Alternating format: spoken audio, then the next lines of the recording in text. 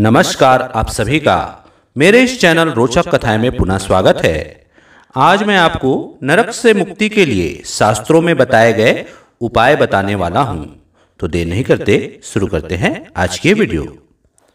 जीवन में केवल एक ही सत्य है और वह है मृत्यु। शास्त्रों के अनुसार मृत्यु के बाद इंसान अपने कर्मों के हिसाब से स्वर्ग या नरक में स्थान प्राप्त करता है। अगर इंसान ने अपने जीवन काल में अच्छे कर्म किए होंगे, तब उसको स्वर्ग में स्थान प्राप्त होता है। और अगर बुरे कर्म किए होंगे, तब नरक में यमदूतों से दंडित किया जाता है। शास्त्रों में नरक से मुक्ति के लिए कुछ उपाय बताए गए हैं।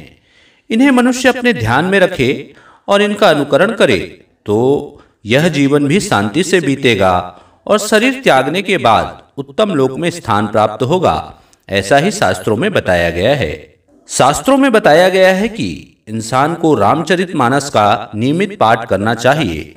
बताया जाता है कि इसका पाठ मृत्यु के समय होने वाले कष्टों को भी कम कर देता है।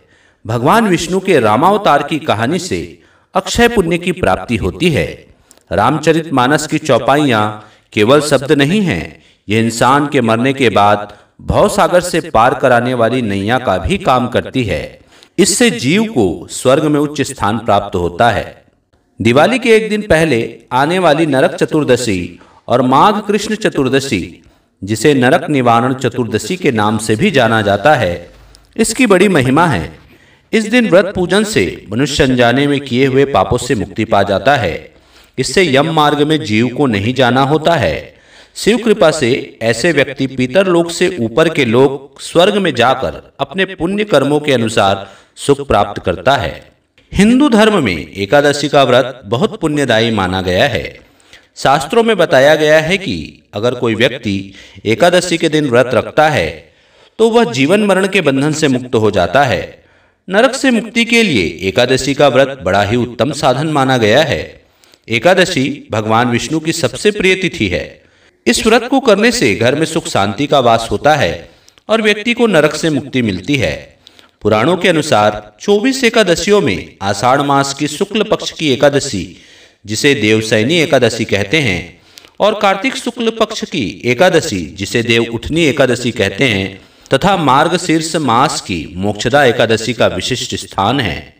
विष्णु सहस्त्र नाम का नियमित पाठ करने से व्यक्ति का भाग्य हमेशा साथ देता है, और वह स्वर्ग में उच्च स्थान प्राप्त करता है।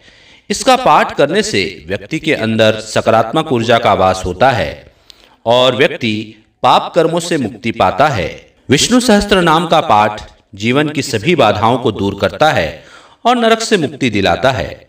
शास्त्रों में बताया गया है कि हर रोज गंगा जल पीना चाहिए और तुलसी के पत्ते का सेवन करना चाहिए।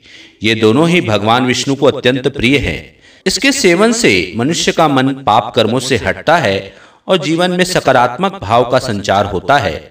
इन दोनों को ही मुक्तिदायिनी कहा गया है। इसलिए अंत समय में भी व्यक्ति के मुँह में गंगा जल और तुलसी के पत्ते डाल दिए जाते हैं।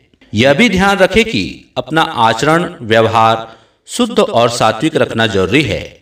छल कपट से दूर रहना चाहिए और अहिंसा परम धर्म है यह मानकर अपना जीवन व्यतीत करना चाहिए। हमेशा सत्य का साथ देना चाहिए और ईमानदारी से रहना चाहिए। तभी आपको इन कर्मों का फल प्राप्त होगा। शास्त्रों में बताया गया है कि जब आप मन को शुद्ध रखेंगे, तभी आपको उपासना और व्रत कर्मों का सुख फल प्राप्त होगा। तो दोस्तों, यह थी आज की वीडियो। आशा करता हूँ आपको वीडियो पसंद आई होगी।